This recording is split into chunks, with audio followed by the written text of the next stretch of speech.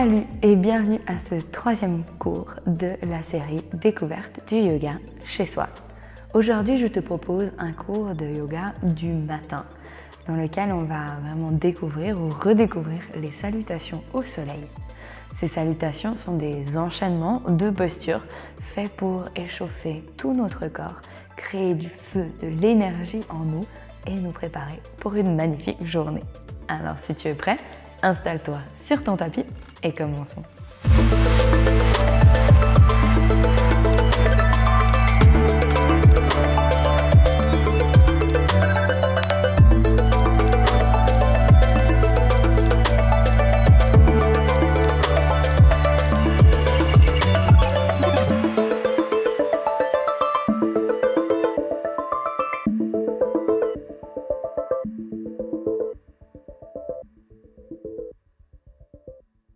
Pour commencer le cours aujourd'hui, je te propose de t'installer debout à l'avant de ton tapis. On va avoir les pieds largeur des hanches, les mains se tournent en avant, les doigts s'écartent, les épaules se roulent en arrière, le cœur en avant, on regarde au loin. C'est de ne pas regarder en direction de nos pieds, mais vraiment voir l'horizon. On veut chercher le lever du soleil au loin. Si tu te sens à l'aise, tout en restant comme ça, tu peux fermer les yeux ou les garder ouverts, mais essaye d'avoir un regard un peu flou, comme si tu regardais dans le vide. Et on vient de trouver notre posture de Tadasana, notre posture de la montagne, qu'on a déjà observée et pratiquée pendant cette série.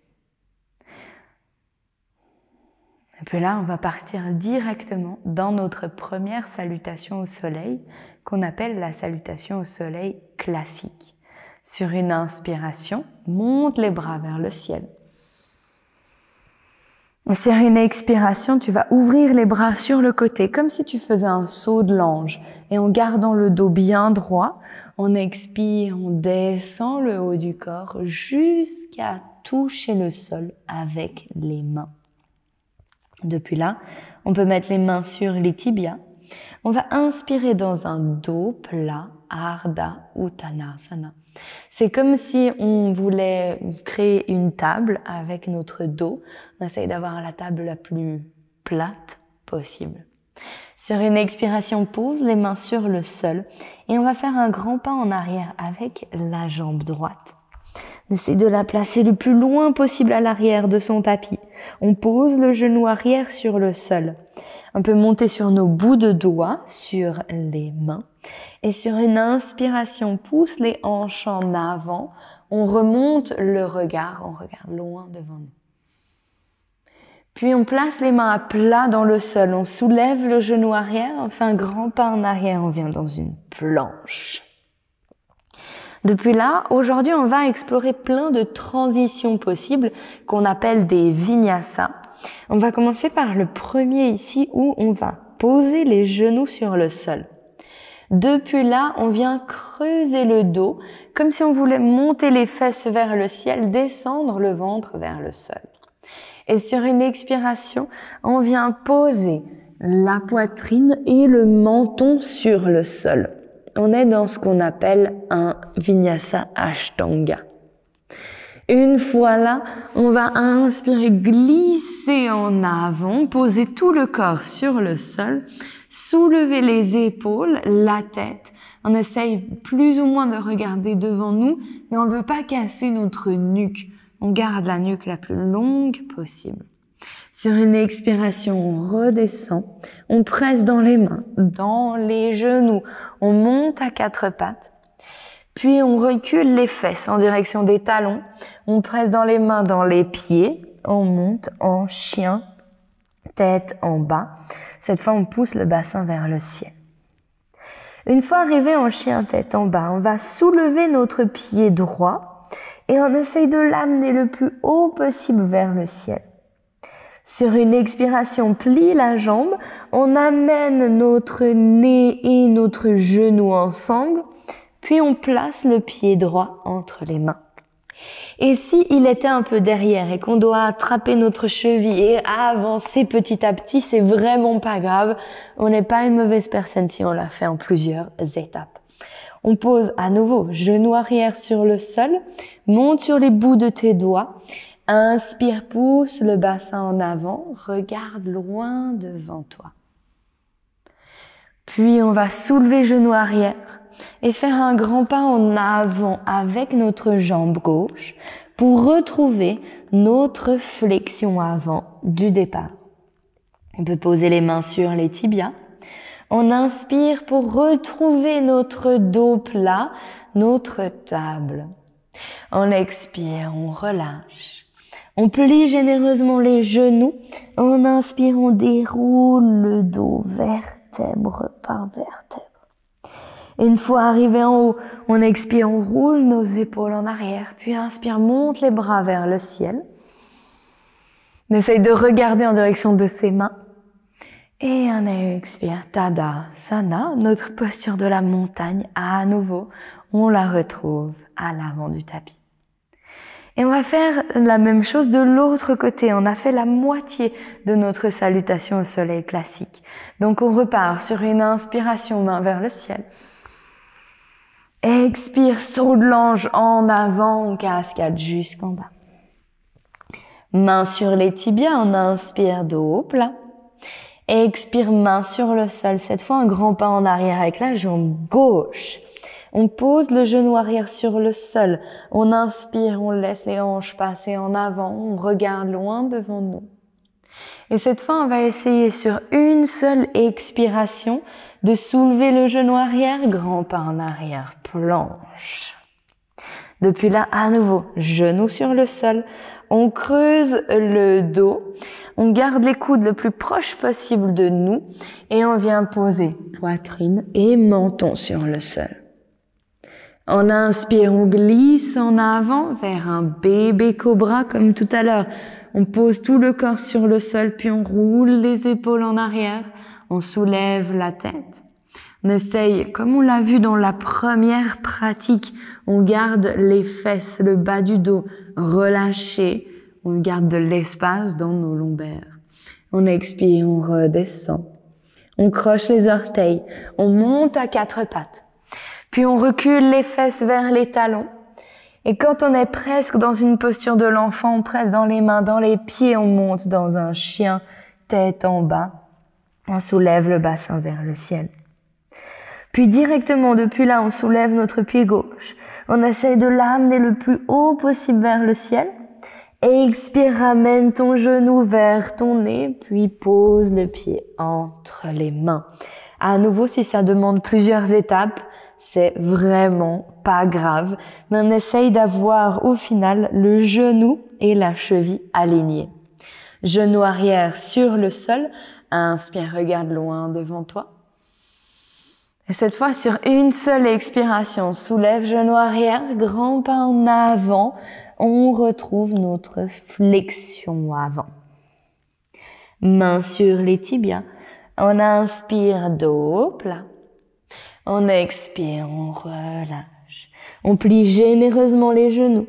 Inspire, déroule le dos vertèbre par vertèbre. une fois droit, on expire, on roule les épaules en arrière, puis inspire, monte les bras vers le ciel. Si tes épaules le permettent, tu peux joindre tes mains, regarder les pouces. Et sur une expiration, on vient retrouver Tadasana, notre posture de la montagne. Et on a fini le cercle de notre salutation au soleil classique. Je te propose maintenant de découvrir une salutation au soleil plus courte qu'on appelle la salutation au soleil A. Gentiment par inspire main vers le ciel.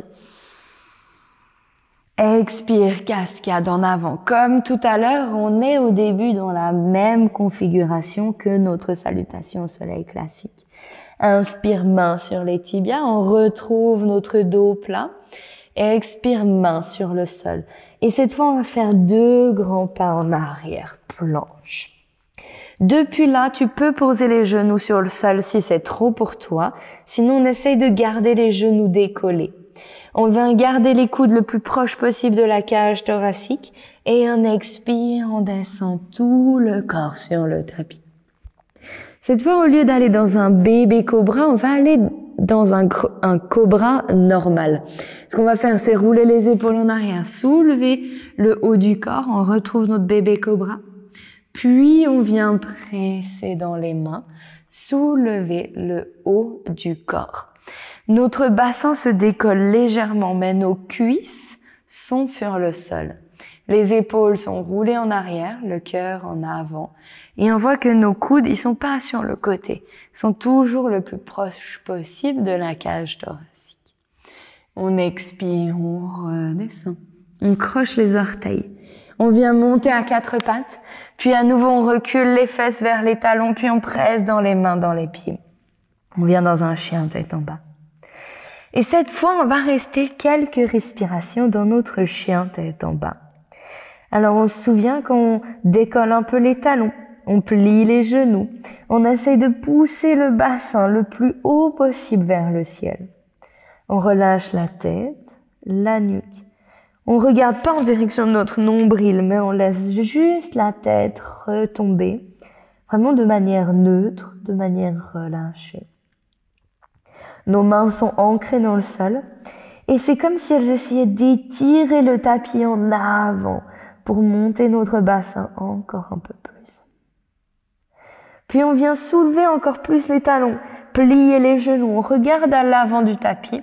Et depuis là, soit on fait deux grands pas, soit on essaye de sauter en avant pour ramener les pieds entre les mains. Les pieds sont largeur des hanches. Depuis là, on expire, on relâche le haut du corps.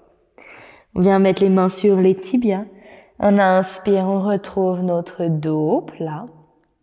En expire, on relâche. On plie les genoux. On inspire, on déroule le dos vertèbre par vertèbre. Et une fois arrivé en haut, on expire, on roule les épaules en arrière, puis inspire main vers le ciel. À nouveau, si tu peux, joins les mains, regarde les pouces. Expire, viens en Tadasana, en posture de la montagne. On va partir dans une nouvelle salutation au soleil qu'on appelle la salutation au soleil B. Pour ceci, on vient joindre les pieds, les gros orteils et les talons se touchent. On vient plier les genoux, effleurer le sol avec les bouts de doigts. En inspirant, on redresse les bras vers le ciel. On vient en posture de la chaise. Et on essaye de regarder qu'on voit toujours nos orteils devant nos genoux pour éviter de mettre trop de tension, de pression dans nos chevilles. On a un dos bien droit, on regarde loin devant nous. On prend une dernière inspiration ici. Et sur l'expiration, on relâche. On vient en flexion avant. Main sur les tibias. On inspire dans notre table, on commence à connaître, on se sent à l'aise dans cette posture. Expire main sur le sol, deux grands pas en arrière, planche. À nouveau, genoux sur le sol ou non, comme tu préfères. Expire, descends le corps sur le tapis. Inspire dans ton cobra. Et depuis là, en cobra, on vient crocheter les orteils, soulever les fesses, les reculer en direction des talons, presser dans les mains, dans les pieds, on monte en chien, tête en bas. Une fois un chien tête en bas, on va inspirer, monter le pied droit vers le ciel, chien trois pattes. Expire, place-le entre les mains à l'avant du tapis. Et on va regarder notre pied arrière.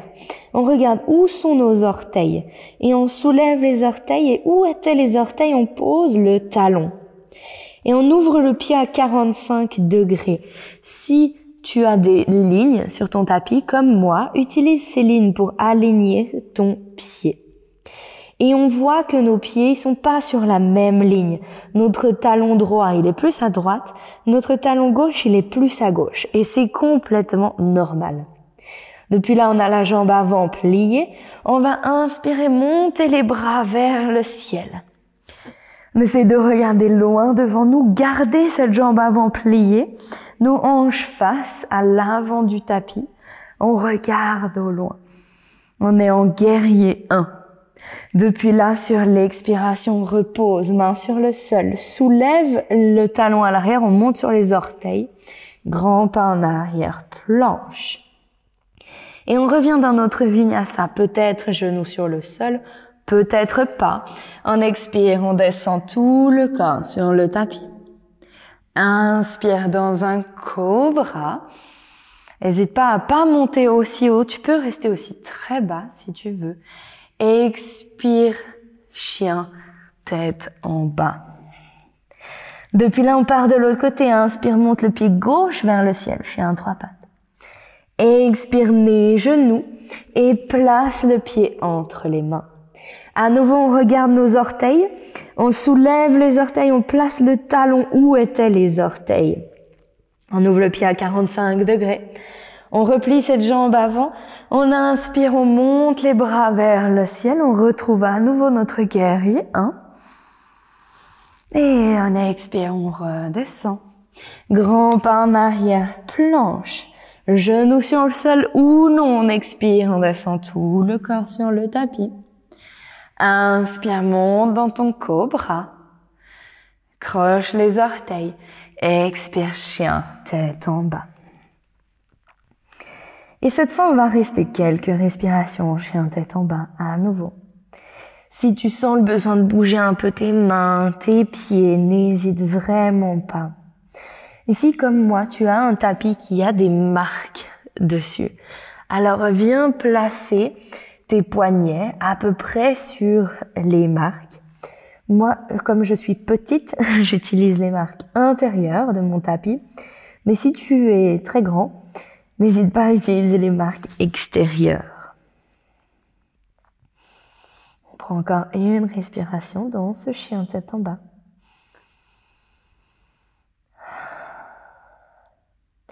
Puis on soulève les talons. On plie les genoux, on regarde à l'avant du tapis. Soit on saute, soit on marche pour ramener les pieds entre les mains. Les pieds sont collés, serrés. On vient plier les genoux effleurer le sol avec les bouts de doigts. On inspire, on se redresse. On retrouve notre posture de la chaise. On pose ici sur l'expiration. Puis on inspire, on tend les jambes, on tend les bras, on essaye de regarder en direction du plafond. Expire, Tadasana, posture de la montagne. On a les bras le long du corps, paume de main tournée vers le euh, l'avant, pardon. Peut-être qu'on ferme les yeux un instant. Et on a découvert les salutations au soleil les plus classiques les principales du yoga et que ça soit dans tous les styles de yoga, que ce soit en vinyasa, que ce soit en ashtanga, que ce soit quoi que ce soit d'autre, ces euh, salutations au soleil sont les mêmes. Mais après, on peut construire beaucoup de choses basées sur ces salutations au soleil. Et c'est pour ça que je t'invite à finir cette pratique sur une dernière salutation au soleil qui est euh, façon Adeline. Et pour ceci, tu peux écarter tes pieds largeur des hanches. Inspire, monte les bras vers le ciel. Expire, cascade jusque tout en bas. Comme à notre habitude, inspire, main sur les tibias, dos plat. Expire, main sur le sol, grand pas en arrière avec la jambe droite. Depuis là, on reste sur nos bouts de doigts.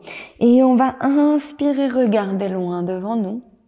Sur une expiration, on essaye de tendre la jambe avant le plus possible, même si c'est l'intention qui compte de la tendre, même si on sent un tout petit peu de redressement, mais pas du tout tendu, c'est pas grave. Peut-être qu'on est souple et qu'on arrive à tendre cette jambe. Et si c'est pas le cas, ça vient, ça viendra, promis, avec de la pratique. Depuis là, à nouveau, on inspire, on plie la jambe avant, on regarde loin devant nous. À nouveau, expire. Essaye de tendre de plus, le plus possible la jambe avant. Puis on vient mettre les mains sur le sol. Et on va essayer de soulever notre jambe avant pour vers un grand pas en arrière et venir dans un chien tête en bas. Une fois un chien tête en bas, on soulève les talons, on regarde en direction du nombril, on inspire, on roule en avant vers une planche. Genou sur le sol et expire, descend tout le corps sur le tapis. On vient monter sur nos coudes. On inspire ici dans un sphinx. On regarde loin devant nous.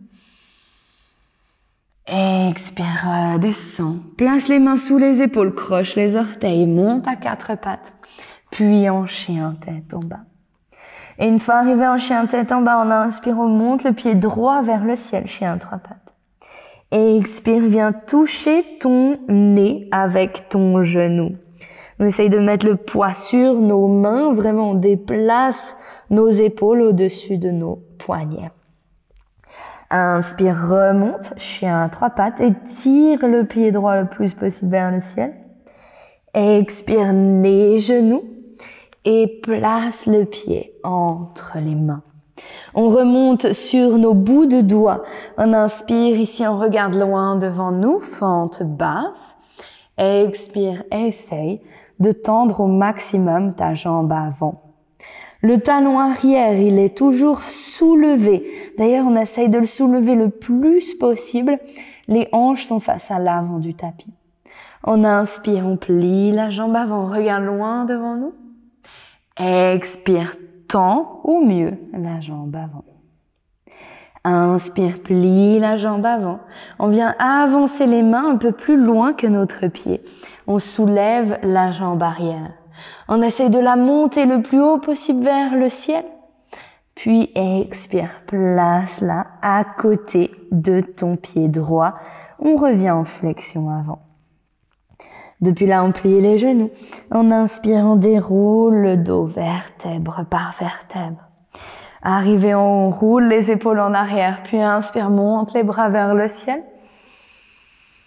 Expire, Tadasana, posture de la montagne. Gentiment, repart de l'autre côté, inspire, main vers le ciel. Expire, cascade jusque tout en bas. Main sur les tibias, inspire, arda, dos plat. Expire, main sur le sol. Cette fois, on fait un grand pas en arrière avec la jambe gauche. On inspire, on regarde loin devant nous, on laisse les hanches descendre. Expire, essaye au mieux de trouver de l'extension de la jambe avant. Talon arrière soulevé, les hanches face à l'avant du tapis. Inspire, plie la jambe avant, regarde loin devant. Expire, tend la jambe avant. On vient, si on peut, comme on peut plutôt, mettre les mains sur le sol, soulever la jambe avant, faire un grand pas en arrière. On vient dans un chien, tête en bas. Et une fois là, on soulève les talons, on regarde en direction du nombril, on inspire, on roule en avant vers une planche. Genoux sur le sol, on expire, on descend tout le corps sur le tapis. Inspire, remonte dans un sphinx comme tout à l'heure. Les coudes sont sous les épaules, on regarde loin devant nous. On expire, on redescend. Place les mains sous les épaules. Inspire, monte dans un cobra. On presse dans nos mains. On remonte le haut du corps. On expire, on redescend, on croche les orteils. Monte à quatre pattes. Puis en chien tête en bas. Une fois en chien tête en bas, on inspire, on monte le pied gauche vers le ciel, chien trois pattes. Expire, viens ramener ton nez vers ton genou, ou plutôt ton genou vers ton nez. Inspire, remonte, chien trois pattes, étire le pied gauche vers le ciel. Expire, nez, genou.